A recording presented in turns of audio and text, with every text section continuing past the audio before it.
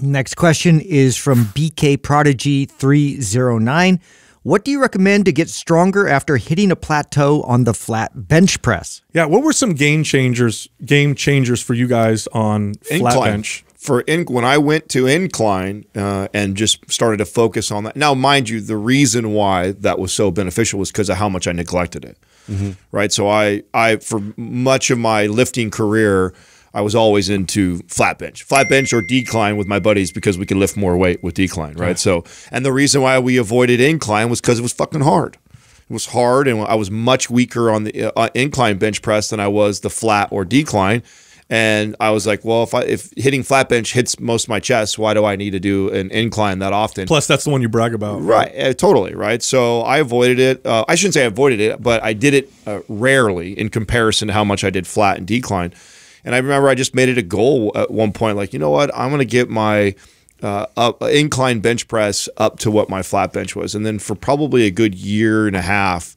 Um, consistently training uh, incline, incline dumbbells, incline fat, flat bench, and everything came up. Like, and, and I saw huge development in my chest that I hadn't before. So that was a big game changer or, or plateau breaker for me. Was actually just focusing on a good chest exercise uh, exercise that I don't do very often and making it a goal to get good at it. Yeah. Like watch what that does. And so that incline was for me, but this person could be asking this question. Maybe you don't fly very often. Maybe you don't ever do dips uh, uh, for it at all, like something like that. So yeah, so to, to piggyback off that, the dips for me um, were a huge game changer in um, really working on uh, even pausing down at the very bottom and digging my way out. So I was always working on, you know, getting a little bit further and, and, and deeper so I could uh, gain more range of motion, more strength in that that you know position uh, because you know when I go to bench, you know that was always a sticking point for me at the very bottom. You Yeah. know, you, you, really have uh, you know less less support there, less force production.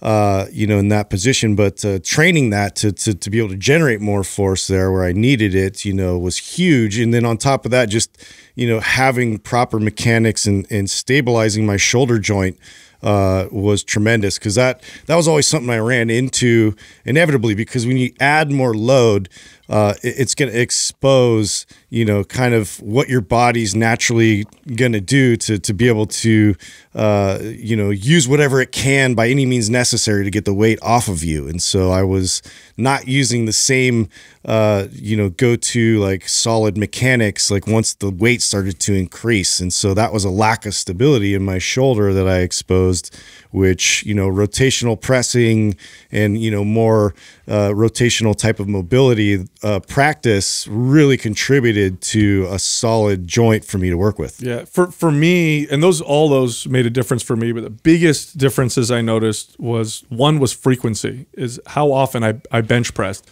For most of uh, well, for a lot of my early lifting career, I would bench press once a week because I hit chest once a week. I'd go to failure, get my chest sore, you know the whole thing. And I could not get to three plates on the bar. I just could not get to three 45s, 315 pounds. That was a huge goal of mine for the longest time.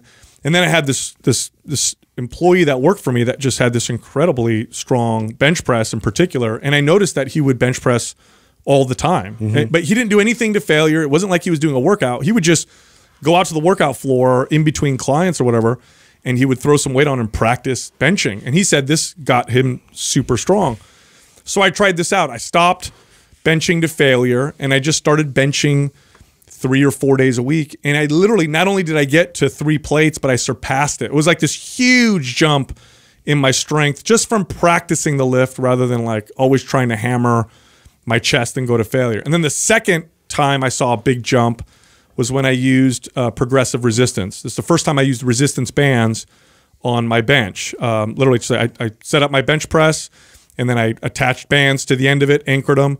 And so the resistance was higher at the top of the bench than at the bottom, and I could overload the lift very differently. And that got me to jump uh, big time as well. Those two things were probably the biggest. But I think the key is, uh, you know, between everything that we're saying, if you're stuck at a plateau, you definitely have to do something different. So whatever you're doing obviously isn't working. and just change it. Sometimes that means doing more, sometimes that means doing something different, and sometimes that means doing less than what you're currently Did, doing. Doug, didn't we do an episode that was titled like how to like eight ways to break through a plateau or something like that? We did do something on that some Something time that- ago. Yeah, I mean, and this is uh, just go down that list because It'll apply to all lifts. Right, because exactly, we, we went through uh, all these different ways to progressively overload the body, and you know, when sometimes we, we always get so focused on the the simple stuff like the weight and the reps, right? Oh, I've done every rep range, I've done all this weight, uh, I've increased my weight to the most I can. I can't get anywhere. There's other ways by messing uh, with tempo, with uh, technique, like just we can overload the body in a lot of different ways and we get into that in the episode and just i would go down that list and look at all the things that you have currently tried and things that you haven't and then add the ones that you haven't That's episode 1630. Right? Perfect.